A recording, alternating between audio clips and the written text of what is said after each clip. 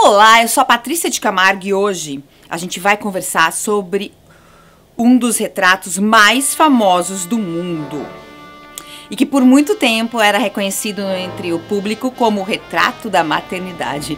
E justamente o que o pintor não queria, que suas telas fossem é, relacionadas com sentimentalismo, que contassem histórias.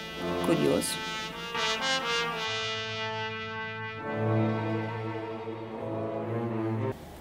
Essa pintura é o Arranjo em Cinza e Negro número 1, ou Retrato da Mãe do Artista. Gente, e pro, pro tema que ela mostra, ela é muito grande. Mede 1,44m de comprimento por 1,62 de altura. Foi realizada por um pintor norte-americano que praticamente viveu quase toda a sua vida na Europa e fixou base em Londres, o James Abbott McNeill Whistler, mais conhecido como Whistler. Fica mais fácil, né? E mostra. O que a gente está vendo é a mãe realmente do artista, a Ana Matilda. Ela foi passar uma temporada com ele em Londres, ele aproveitou. E diziam assim que ele é, cansava muito as modelos, que elas tinham que ficar horas posando para ele. Então o que, que ele fez? Colocou a mãe dele aí sentadinha com apoio no pé para facilitar as coisas. E esse artista, ele pertence àquela onda expansiva que eu falei no vídeo passado, que foi gerada pelos impressionistas, que fizeram com que muitos artistas é, fossem para Paris. O Whistler mesmo ele morou um tempo em Paris e também que quebrassem, que rompessem com as regras impostas pela academia. Daí você pode me perguntar, Patrícia, ele é impressionista? Hum, ele pintou ao ar livre e tal, foi influenciado, mas para mim, ele fez uma espécie de fusão entre o realismo, que foi um movimento anterior ao impressionismo, e o pós-impressionismo, entendendo o pós-impressionismo como um conjunto de artistas e de práticas influenciadas pelos impressionistas. E tal qual os impressionistas, ele se inspirou muito nas gravuras japonesas. E nesse quadro mesmo a gente pode ver essa influência. Olha o que está no fundo uma gravura, uma gravura que ele fez de Londres. Ele fazia muitas gravuras, mas essa faceta não é tão conhecida do grande público. Outra coisa, que é influência da gravura japonesa, a simplificação das formas, a economia de recursos, só coloca o que realmente é necessário.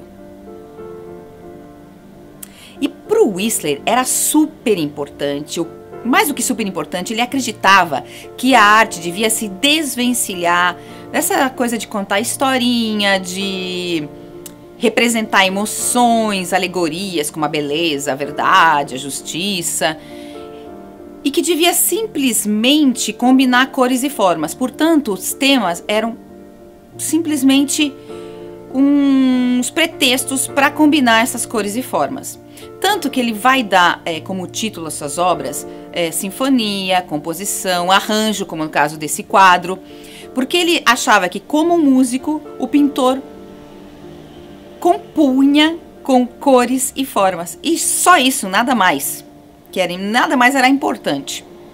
Se imagine como ele ficou quando o pessoal começa a chamar esse quadro de retrato da mãe do artista, que foi um nome dado pelo público mesmo. Além disso, nessa tela a gente pode ver também a técnica que ele empregava era o seguinte: ele diluía pra caramba, mas muito, muito mesmo as tintas antes de aplicá-las na tela. E isso faz com que as capas sejam translúcidas e os quadros se, é, sejam hipnóticos. Esse quadro mesmo, você fica na frente e é difícil você sair. Ele te prende ali, é uma coisa muito louca. E daí você pode perguntar, mas quando ele faz isso de diluir, não escorria a tinta? O que, que ele fazia para evitar?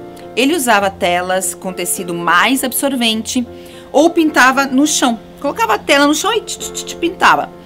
O que vai ser depois realizado, vai ser utilizado pelo meu querido, amado Pollock. Tá vendo como é a arte? Uma coisa vai levando a outra. Você pode estar se perguntando como que essa obra vai chegar em Paris. Em 1891, 20 anos depois que ele tinha pintado esse quadro, ele foi comprado pelo governo francês. Na época ele já era bem famoso. E ele foi comprado para ser exposto no Museu de Luxemburgo, que vai ser a base do Museu d'Orsay. Mas antes dele chegar no Museu d'Orsay, ele esteve exposto por muitos anos no Museu do Louvre. Legal, né? E também tem outra curiosidade que ele tem uma irmã, uma tela irmã, é uma pode chamar assim, uma irmã, que é o quadro que ele fez do historiador e filósofo escocês Thomas Carlyle, que chama Arranjo em Cinza e Negro número 2. Próximo vídeo, vamos conversar sobre um pintor que foi meio mentor do Whistler. E mais precisamente sobre uma de suas telas mais polêmicas que até hoje choca os espectadores. E para não perder, então se inscreve agora mesmo aqui nesse canal. Já se inscreveu? então eu te espero no próximo vídeo e te deixo com um, um beijo no teu coração.